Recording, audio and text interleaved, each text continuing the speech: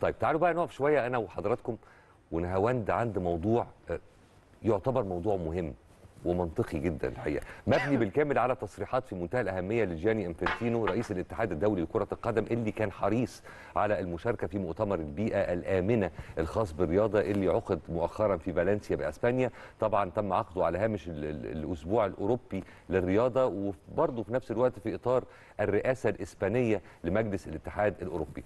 شارك انفنتينو عبر رسالة فيديو مسجلة وأكد فيها إن ملايين الأشخاص الذين يلعبون وهو سماها كده أجمل لعبة في العالم العالم على مستوى العالم لهم جميعا الحق في ممارسة الرياضة في بيئة آمنة. وقال نصا كرة القدم تدور حول المتعة سواء باللعب أو التدريب أو التحكيم أو المشاهدة أو الدعم. نريد أن يتمكن الجميع من الاستمتاع بأجمل مباراة في العالم في بيئة آمنة ومبهجة.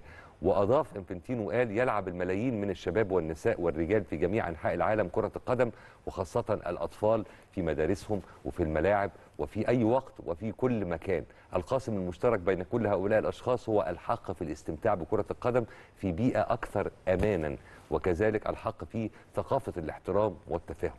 أعتقد القيم دي والمفاهيم دي يعني المنطق يقول إن إحنا حتى كنا في غير إن إحنا نتكلم عنهم بس عشان نتكلم عنهم معناها إن في نقص ملحوظ فيهم. بيحصل طبعا وبيحصل أكتر من كده. كمان بيحصل عنصرية.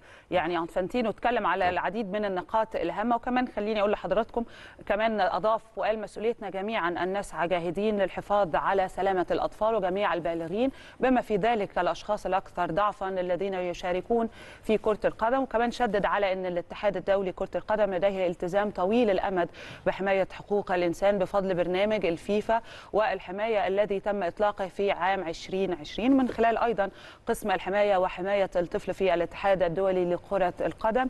وكمان سلط الضوء خليني أقول لحضراتكم على موقف الاتحاد الدولي بعدم التسامح مطلقا. ودي نقطة مهمة ضد جميع أشكال العنف والمضايقة والإساءة ودور كمان مدونة الأخلاقيات الخاصة به ومذكرة التفاهم مع كل من مكتب هنا الأمم المتحدة طبعا المعني بالمخدرات وبالجريمة وبالمجلس كمان أيضا الأوروبي. وسلط الضوء على موقف الاتحاد الدولي لكرة القدم بعدم التسامح. مطلقا ضد جميع أشكال العنف والمضايقة والإساءة ودور مدونة الأخلاقيات هنا الخاصة وشدد عليها أكثر من مرة والتفاهم من مكتب الأمم المتحدة زي ما كنت بقول لحضراتكم. فنقطة مهمة جدا ومهم كمان أنا كنت أتمنى مع كل اللي أنا بقوله ده ومع كل ما قيل وتم التصريح به من قبل إنفانتينو ان يضاف جملة العنصرية لأن العنصرية هو لم يتحدث عنها هذه المرة اتكلم عنها طبعا قبل كده في كتير من التصريحات لكن ما- ذكرهاش المرة دي ال- العنصرية للأسف الشديد هي من أكتر أو من أكبر المظاهر اللي بنشوفها سواء من على فكرة لعيبة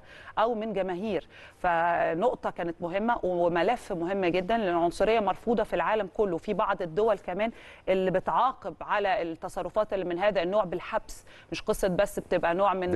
المخالفات وغيره. لأ ده في محاسبة قانونية. ف وفي الفترة الأخيرة كان في ماتشات كتير لو لو تفتكر كان من ضمن الأخبار إن إحنا قلناها إن تم رصد عدد معين من جماهير أنا مش فاكر كان ماتش مين ومين بس كان في حتى رصد من خلال الكاميرات لجماهير أساءت لواحد من اللاعبين. والحقيقة يعني هو غريب إنها ما اتقالتش. يعني طبعا المعنى مفهوم بشكل ضمني في وسط سياق الكلام اللي هو قايله فيما يتعلق بمسألة المضايقات والإساءة لكن ك- ككلمة هي تستحق, إنها تتقال بشكل مجرد لأن هي فعلا نتج عنها مشاكل كتير جدا في الفترة الأخيرة.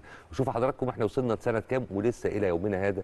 العنصرية مش بس موجودة لا دي كمان في تزايد ملحوظ. حتى في شوارع أوروبا بتلاقي فيديوهات كتير جدا على اليوتيوب بالكامل محتواها مبني على فكرة العنصرية شيء يعني بغيض جدا الحقيقة.